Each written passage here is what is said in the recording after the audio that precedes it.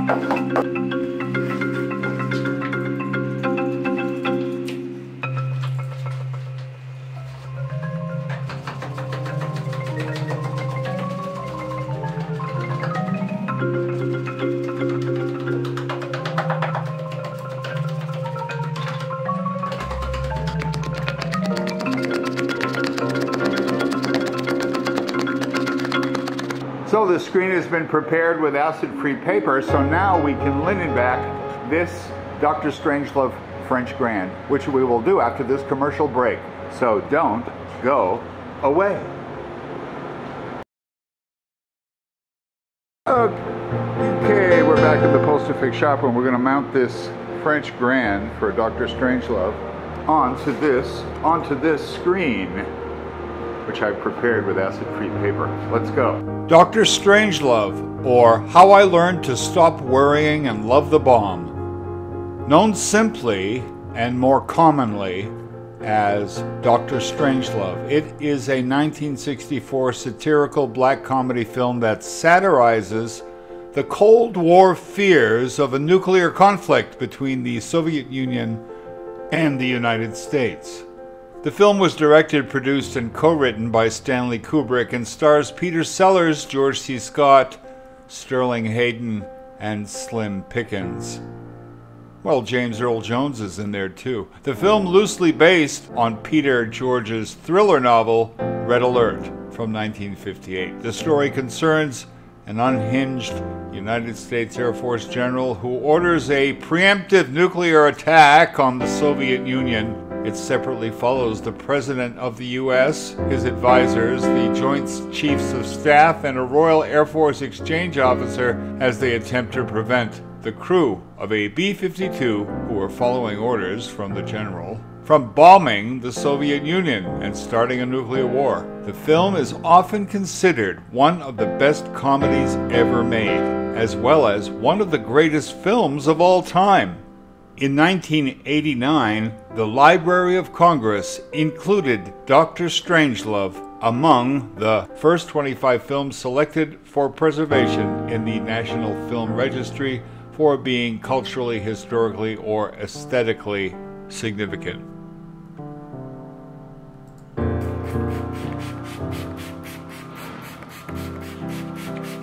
I'm spraying Dr. Strangelove with water so that it will help it expand. The paper is porous and it expands as it absorbs the wheat paste and absorbs the water.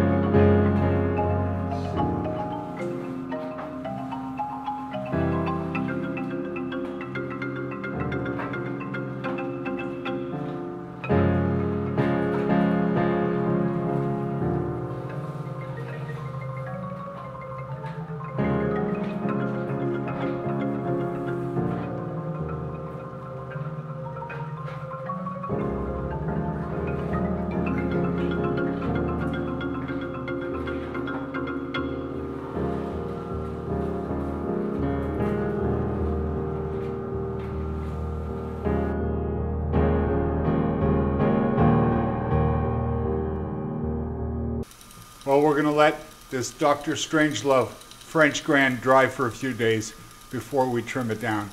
And it is at this point in time that I want to remind you that if you would like to send your posters to Posterfix, you can ship them by UPS or FedEx. They come right to my door.